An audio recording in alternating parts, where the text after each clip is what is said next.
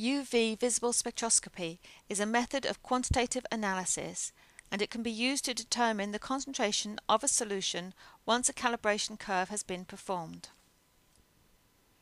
The procedure is based on the amount of light absorbed as it passes through a sample. Spectroscopy uses monochromatic light. This is selected by choosing lambda max. Lambda max is identified as the wavelength of maximum absorption for the sample under analysis and is characteristic for each compound. The use of lambda max provides the highest sensitivity and minimizes deviations from Beer-Lambert law. Ensure that the spectrophotometer is turned on and the correct wavelength has been selected. A reference cuvette, that is a blank containing the same solvent as the sample, is used to set the spectrophotometer to read zero absorbance.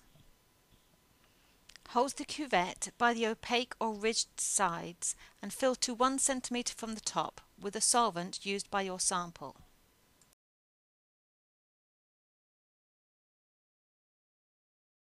Hold the cuvette up to the light to see through it and wipe the transparent sides with a tissue to remove fingerprints, splashes and marks.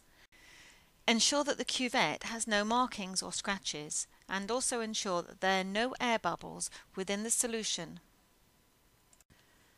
Place the cuvette in the spectrophotometer holder with the transparent sides in the light path. Where appropriate, align the arrows on the cuvette with the arrow as indicated on the spectrophotometer. Press the blue button which will make the instrument read zero.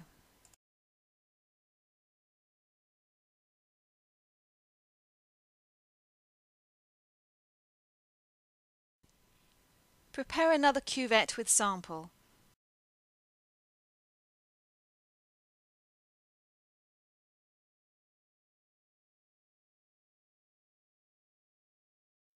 Ensure that it is nice and clean and with no air bubbles and again place it correctly in the holder.